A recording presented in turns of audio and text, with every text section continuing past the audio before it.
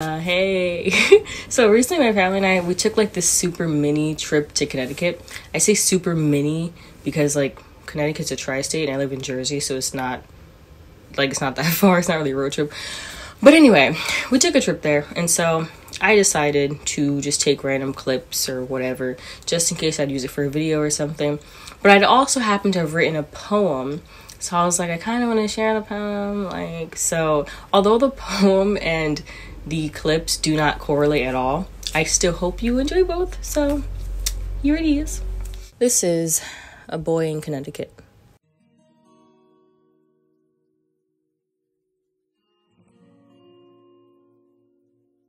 I met a boy in the suburbs of Connecticut in the midst of a venture to the city. It was dumb how we crossed paths, two butter-fingered, stumbling idiots dropping their cell phones in a dimly lit cheesecake factory. He on his way out, I rushing toward the restrooms.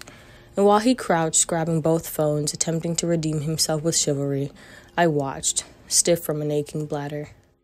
Pink lips, big, they catch your attention before the brown eyes and long lashes. Oh, the envy in me. Small nose, perfectly centered and no defined bridge, and sepia brown skin, so soft and supple.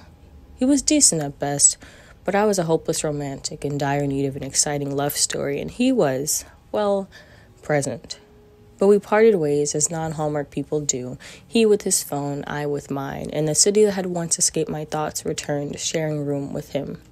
I caught a lift, although a taxi would give the story a vintage feel. It's the 21st century for crying out loud, and watched as suburban homes and buildings passed.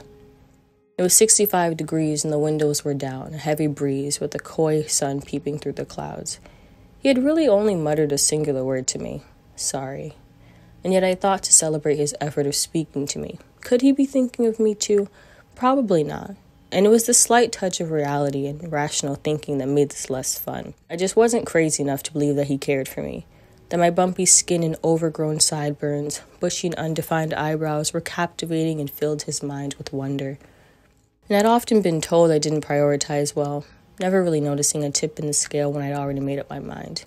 There are bigger things to worry about, my mother had always said. She died two days after her soulmate, and I suppose that really puts things into perspective. Well, off to the city.